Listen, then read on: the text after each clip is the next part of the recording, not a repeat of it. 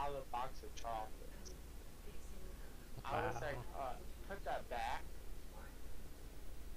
Well, she wanted some good chocolate. Can't blame her. Oh my goodness. Really? Again?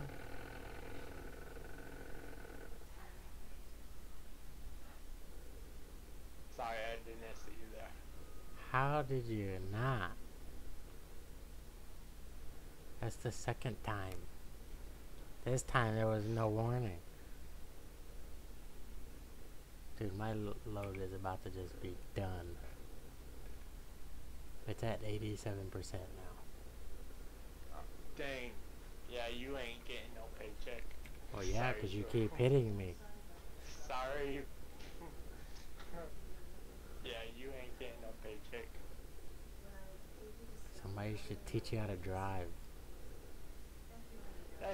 Mine's not any better. Uh huh.